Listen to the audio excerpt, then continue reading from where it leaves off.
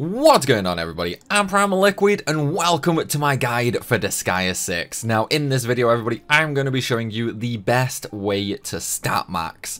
Because I'm going to be showing you guys how to farm 16 trillion stats an hour in the juice bar.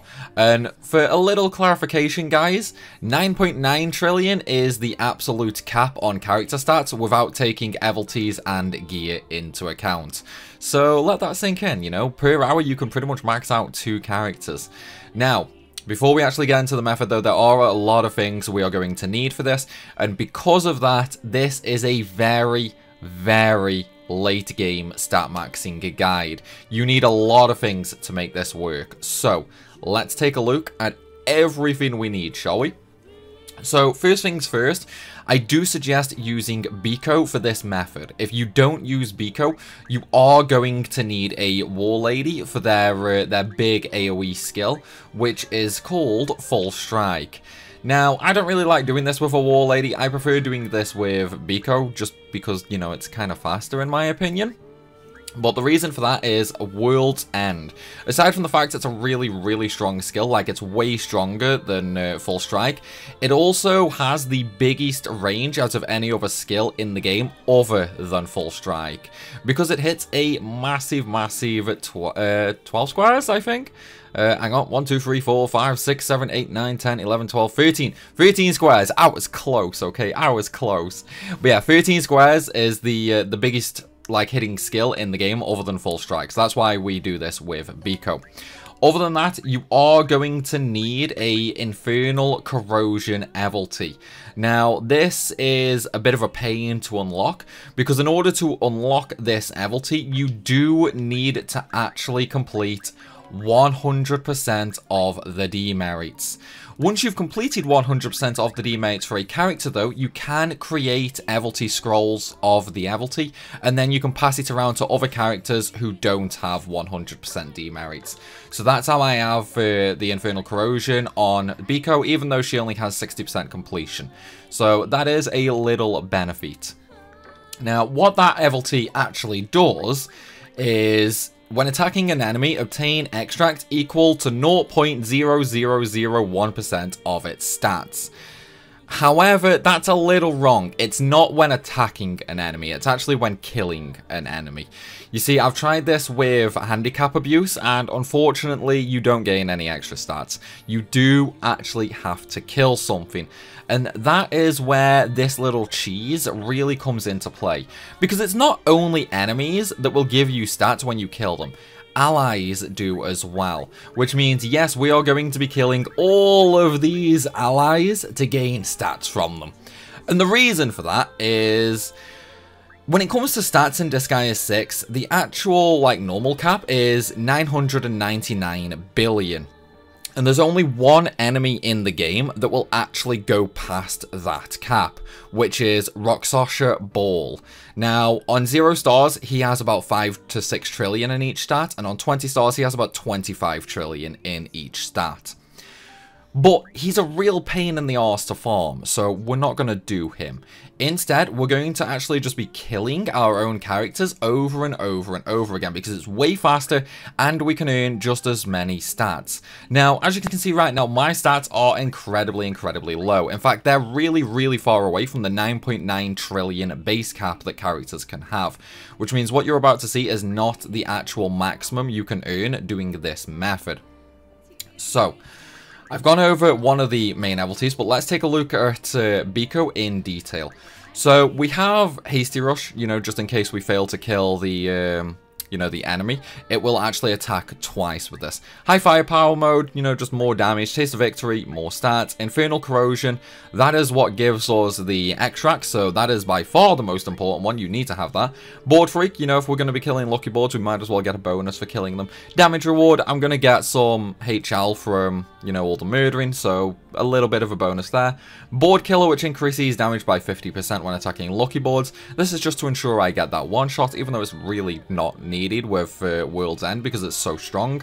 Seal of Betrayal, which is one of the most important ones as well, which death blows ally units. This is how my Biko, with a measly 300 million in stats, can easily kill my units with 2 to 3 trillion in stats. If she hits, mind you. That is one of the things. Like, you should really uh, try and get Biko a lot of hits for this. And then Mana Scarcity, you know, just for more damage. The only the only Evilties here that really, really matter, though, is Infernal Corrosion and Seal of Betrayal. You can do this method with just those two Evilties. For all the other characters, it doesn't really matter what they have, as long as you have something that gives them 100% stat bonuses.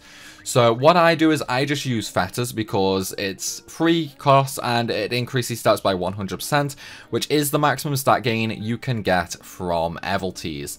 So, you know, it's very quick and easy double stats, which means double extracts for us. So we've got um, Fetters on all of these characters. Now, as I mentioned earlier, my stats are nowhere near the maximum, but also I don't even have um, all of these characters, you know, at 4,000 reincarnation points for each stat. I don't have them all with the, you know, stat cap removal level, uh, karma bill past. So this is absolutely nowhere near as efficient as it can be. So please do keep that in mind. So, I've gone over pretty much everything you need now, so let's take a look at the demonic intelligences. Now, this one actually took a, quite a bit of while to set up properly, to actually get it working. So, for Biko, we actually have enemy forces move to a point five panels away, Wait until other units have acted, this is so they all get in place, and then use World's End.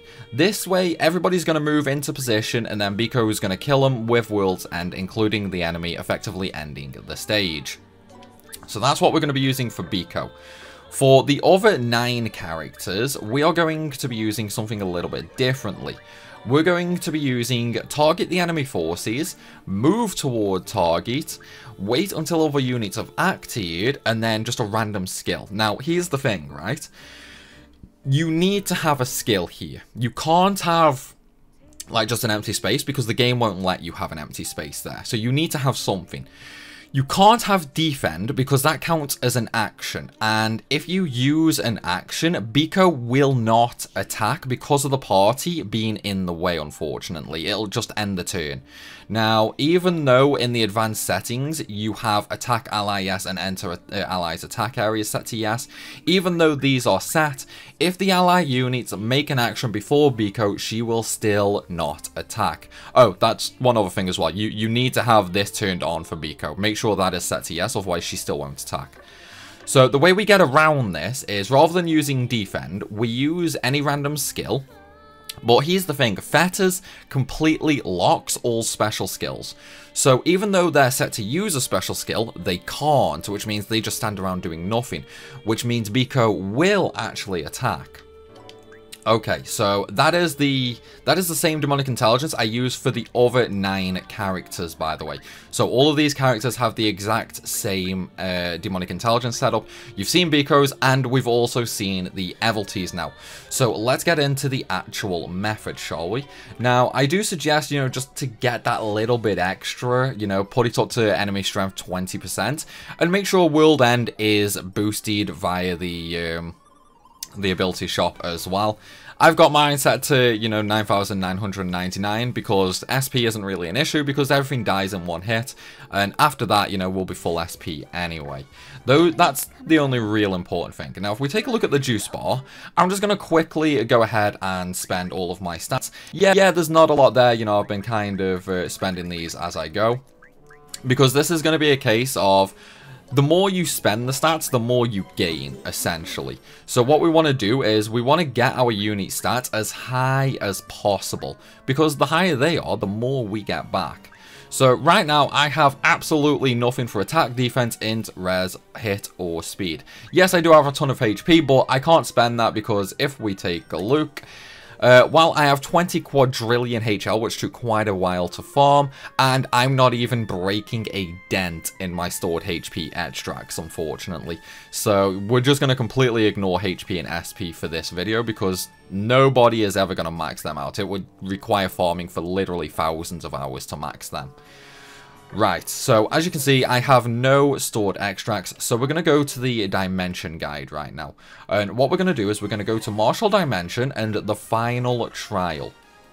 Now, with this, we are going to have uh, all our units are going to run around the lucky boards and then Biko is going to attack with World's End. And as you saw, that fight there ended in about 5 seconds. You know, so it, it's a pretty quick method. The only problem is, because my Biko's hit is quite low, I only have a 30% chance to hit some of my units. That's why I had two units survive there.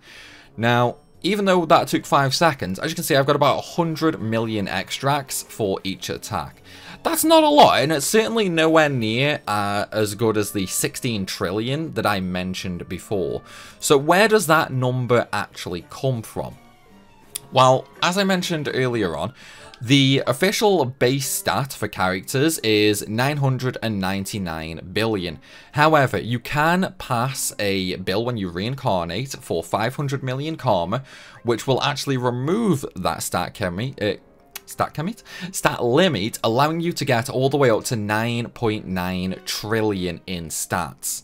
Now, that is only a base stat cap as well for the character. That is not counting abilities, it is not counting gear or anything like that. So, with that in mind, with 1 billion, uh, sorry, with max stats, which is, you know, 9.9 .9 trillion for attack, defense, int, whatever, you will gain 1 billion stats at the juice bar. That's per character, by the way. And yeah, that that's not a lot, you know, it's not a lot at all. However, the good thing about Infernal Corrosion is that will give you extracts based on the final stats of the unit which means yes, we can take this even further. You see, with gear, we can actually gain another 3.6 trillion stats.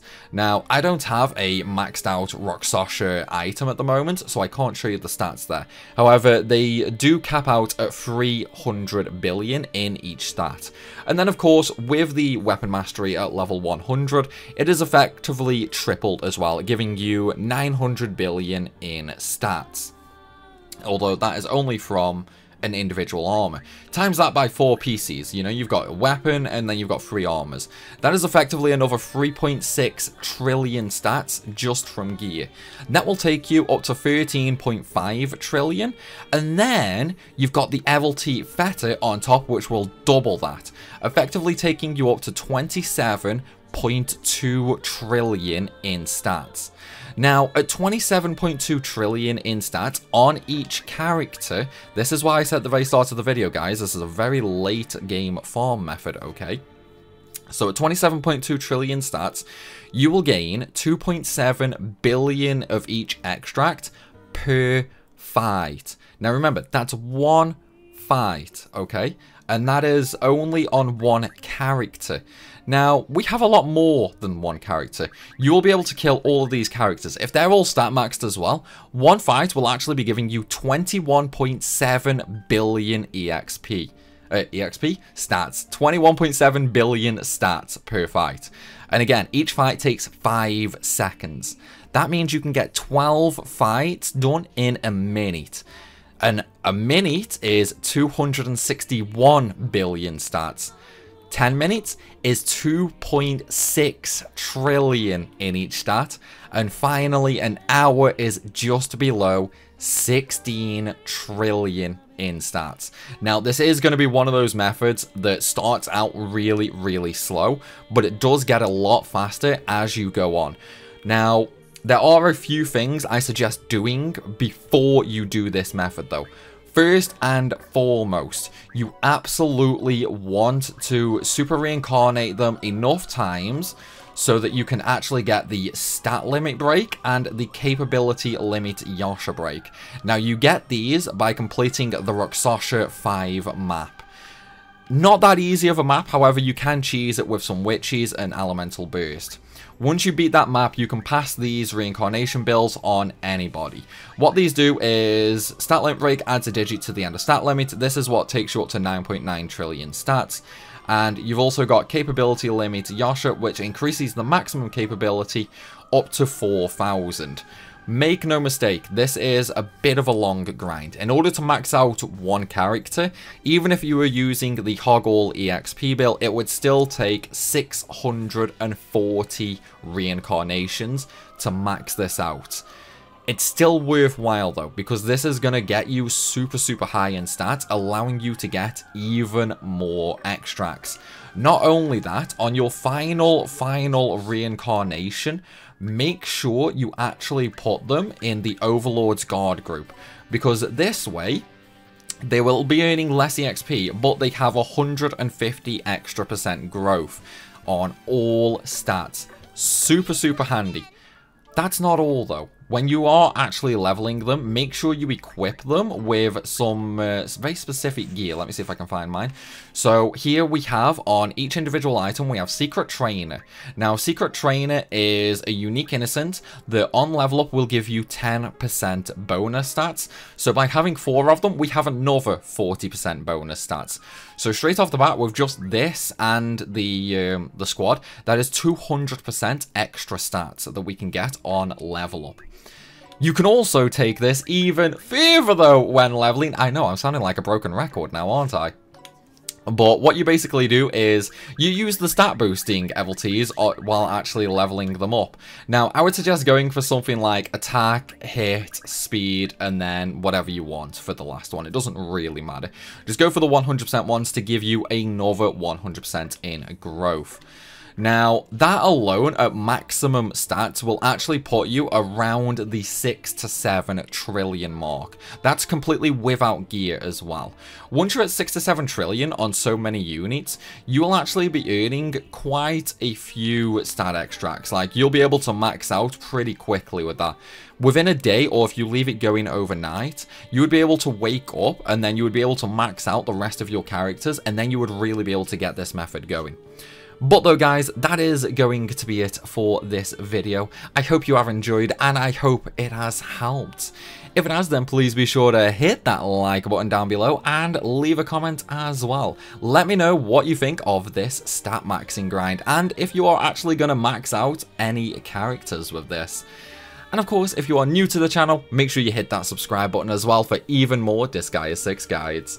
As always though everybody, thank you for watching and I will see you soon.